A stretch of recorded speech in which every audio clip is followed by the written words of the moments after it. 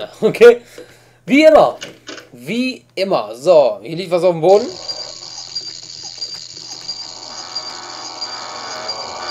Amy Baldwin. Gott hat sie sieben Jahre waren nicht lang genug.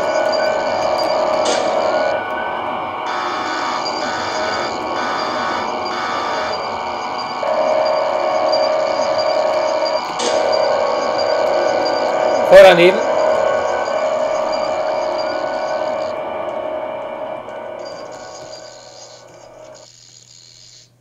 So. Jetzt werden wir die Dachterrasse finden. Wir sind nämlich schon ganz in der Nähe.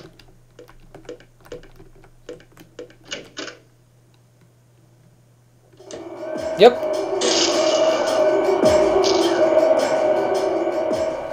Hier steht Keep out of haunted mansion. Was auf Deutsch heißt, bleib weg von der Spukvilla. Okay. Spukvilla. Hm, jetzt fragt euch, wieso? Das spukt's doch gar nicht. Na gut, bis auf das da komisch aussehende Monster rennen, äh, passt schon. Und jetzt sind wir nämlich beim guten alten Blue Creek Apartment. Hab den Namen vergessen. So. Und geilerweise gibt es hier dieselbe Mucke, die auch äh, sonst immer, ähm, also in dem normalen Szenario hier ist.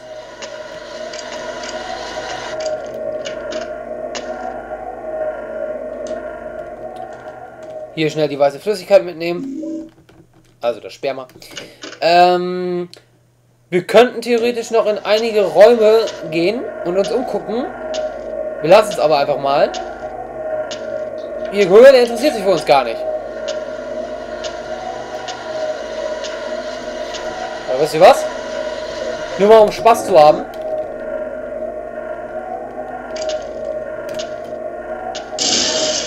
Haha.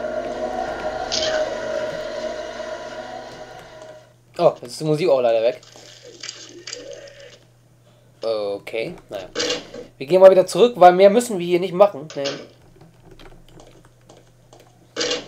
So, und jetzt können wir ja mal, weil wir jetzt ja mal einen Moment Zeit haben, glaube ich. Hier sind ja jetzt keine Monster mehr, glaube ich. Untersuche ich mal dieses Fläschchen mit weißer Flüssigkeit. Ne, kann man gar nicht. Ein kleiner Flasche mit einer unbekannten weißen Flüssigkeit. Auf dem Etikett steht, ich weise dich zurück. Sieht so aus, als könnte ich das hier nicht verwenden. Ich weise dich zurück. Okay, wer eine, wer, ein, wer eine Theorie hat, wofür das stehen könnte, schreibt es bitte in die Comments, mich interessiert. So. Gehen wir wieder zurück zu dem Ernest und hier ist ein Monster irgendwo.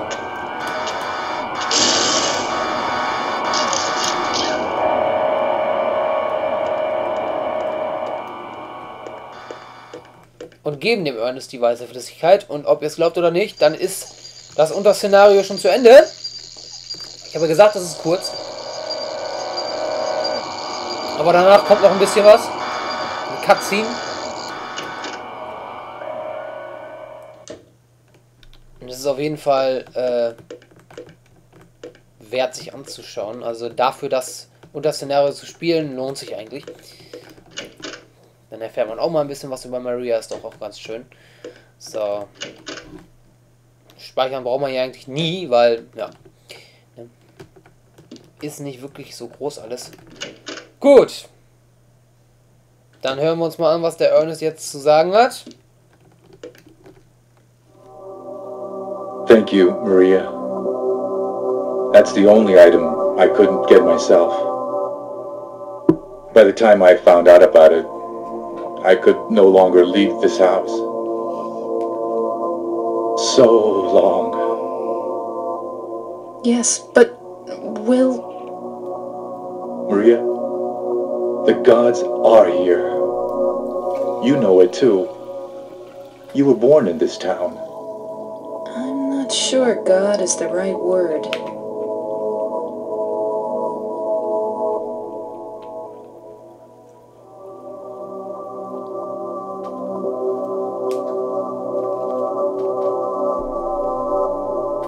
Do you believe in fate? Mm, not really. That's fine then. Ernest, can I open this? This is a dead end.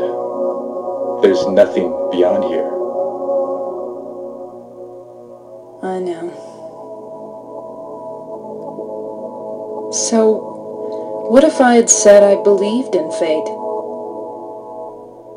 That James. He's a bad man.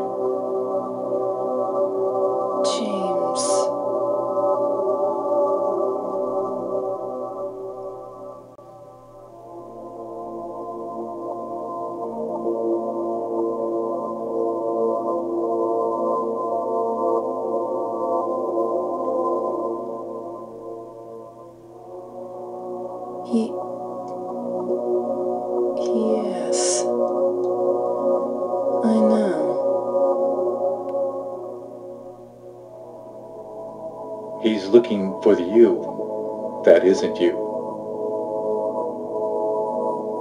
Because he's kind? Do you know something? Yes. Maria, you're. Anyway, that's just what you think. You don't really know anything.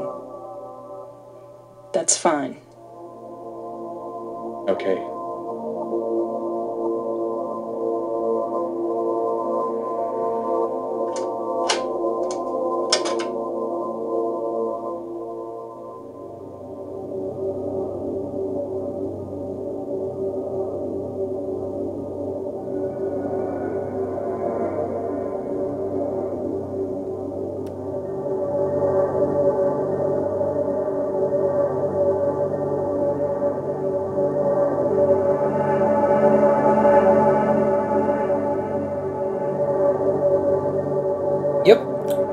Wie ich schon sagte, Ernest ist wirklich ein Geist.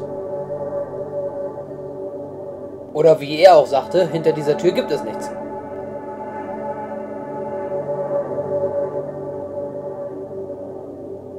Schon komisch, oder? Ein Geist, der versuchen will, seine tote Tochter äh, durch die Götter von Silent Hill im Prinzip wieder zum Leben erwecken zu lassen. ja. Naja, aber Maria ist ja genauso entstanden. Maria wurde aus dem Wunsch geboren, so wie das Szenario halt heißt.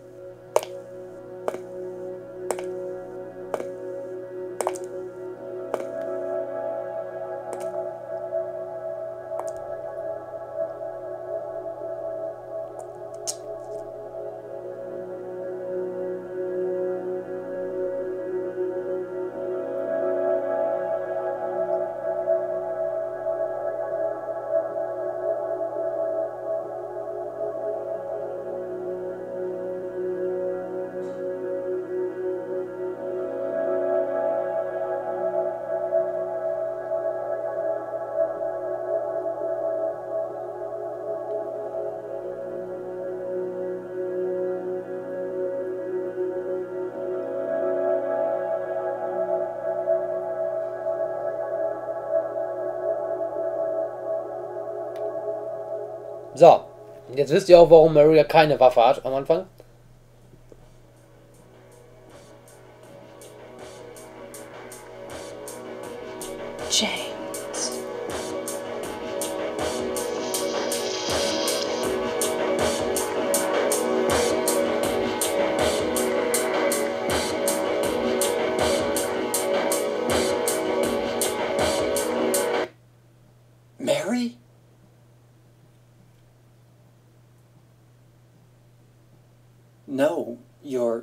Not. Do I look like your girlfriend? My name is Maria.